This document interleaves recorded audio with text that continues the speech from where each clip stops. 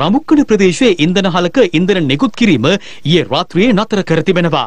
එමෙන්ම ඊයේ රාත්‍රියේදී ඉන්ධන මිල ඉහළ දැමීමට කටයුතු කිරීමත් සමගම ඉන්ධන ලබා ගැනීමට පැමිණ සිටි පිරිස නොසන්සුන්කාරී තත්වයකට පත්ව තිබුණා. වැඩි මිලට ඉන්ධන නිකුත් කිරීමට එරෙහිව ඔවුන් දිගින් දිගටම විරෝධතා පවත්වමින් අද අලුයම එකයි තිහට පමණ රමුක්කන ප්‍රදේශයේ මාර්ග කිහිපයක් අවහිර කිරීමට විරෝධතාවේ නිරත පිරිස කටයුතු කර තිබුණා. අවස්ථා කිහිපයකදී පිරිස පාලනය කිරීමට පොලිසිය එම ස්ථානයට පැමිණියද පොලිසියට ඊට ඉඩ ලැබුණේ නැහැ.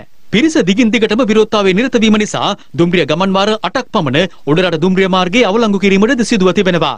කෙසේ වෙතත් එම ස්ථානයේ දේපල කිහිපයකටද කිසියම් පිරිසක් හානි සිදු කර ඇති බවයි පොලිසිය පවසන්නේ.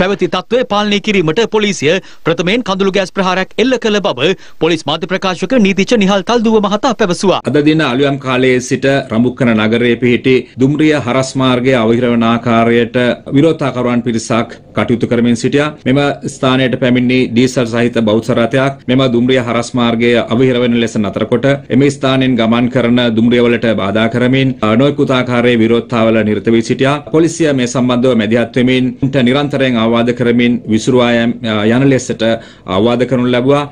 නමුත් එය කිසි දෙයකට එම විරෝධකරුවන් සවන් දීමක් සිදු කරේ නැහැ. පසුව මෙම බෞද්ධ රථයට ගිනි තැබීමට වුණු උත්සාහ කර තිබුණා. ඒ වගේම ත්‍රිරෝධ රථයක් ගිනි තබා තිබුණා. එහිදී මෙම පිරිස විසුරුවා හැරීම සඳහා පොලිසිය විසින් කඳුළු ගෑස් භාවිතා කරනු ලැබුවා. මෙම කඳුළු ගෑස් භාවිතා කිරීම සමගම පොලිසියට එම පිරිස විසින් ගල් මුල් ප්‍රහාර එල්ල කරමින් පොලිසියට පහර දීම ආරම්භ කරනු ලැබුවා. මෙම තත්ත්වය පාලනය කිරීම සඳහා පොලිසිය එම අවස්ථාවේදී වෙඩි තැබීමක් සිදු කර තිබෙනවා. මෙම වෙඩි තැබීමෙන් පුද්ගලයන් කීප දෙනෙකුට තුවාල සිදු වී ඔවුන් ප්‍රතිකාර සඳහා මේ වන විට කෑගල්ල රෝහලට ඇතුළත් කර තිබෙනවා.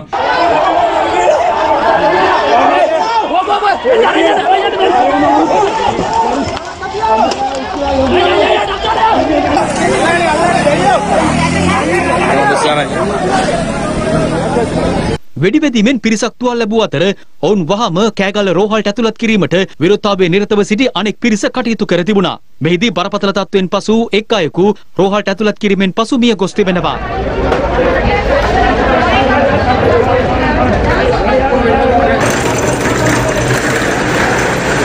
ඇති වූ ගැටුම්කාරී තත්ත්වෙන් පුද්ගලයන් 20කට ආසන්න පිරිසක් තුවාල ලබා ඇති බවයි රෝහල් ආරංචි මාර්ග පවසන්නේ. ඉන් කිහිප දෙනෙකුගේ තත්ත්වය බරපතල බවද රෝහල් ආරංචි මාර්ග වැඩිදුරටත් පැවසුවා. මේ අතර වහාම ක්‍රියාත්මක වන පරිදි රඹුක්කන පොලිස් බල ප්‍රදේශයට නැවත දැනුම් දෙනතුරු පොලිස් ඇඳිරි නීතිය පනවා තිබෙනවා. පොලිස් මාධ්‍ය ප්‍රකාශක ජ්‍යෙෂ්ඨ පොලිස් අධිකාරී නිහල් තල්දුව මහතා පැවසුවේ රඹුක්කන පොලිස් බල ප්‍රදේශයට බලපෑත්වෙන පරිදි මෙම ඇඳිරි නීතිය ක්‍රියාත්මක බවයි.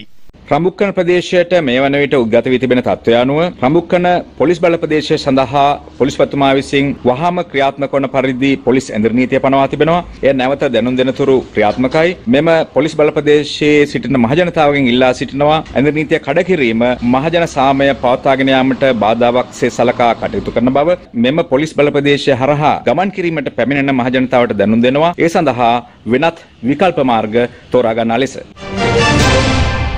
දෙනපතා අලුත් වීඩියෝ සහ ප්‍රවෘත්ති නැරඹීමට ඉහත බටන එක ක්ලික් කර සියත TV සබස්ක්‍රයිබ් කරන්න.